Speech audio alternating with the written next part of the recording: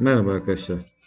Bugünkü yapacağımız işlem eğer ki banyoya girdiğinizde çok uzun saatler banyoda kalıyorsanız bunun önüne geçmek için yapılacak olan bir işlemdir. Şimdi hazırladığımız bu vekfe nokta koyduğumuz yere adınızı, doğum tarihinizi ve anne isminizi yazıyorsunuz. Daha sonra bu kağıdı evde banyoda yüksek bir yerde saklayın. İlk önce ekran görüntüsünü alın. Sonra bilgisayar çıktısı olarak alın. Yüksek bir yerde saklayın ve 20-25 günlük bir süreçte olumlu sonucu göreceğizdir. Ayrıntılı bilgi almak için de bana WhatsApp üzerinden ulaşabilirsiniz. Allah'a emanet olun. Merhaba arkadaşlar.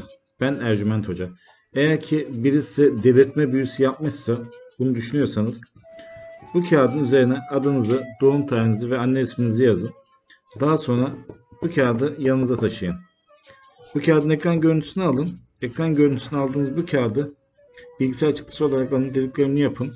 Eğer ki denediklerinden sonuç alamazsanız bana WhatsApp üzerinden ulaşabilirsiniz. Size ayrıntılı şekilde bilgi verebilirim. Allah'a emanet olun.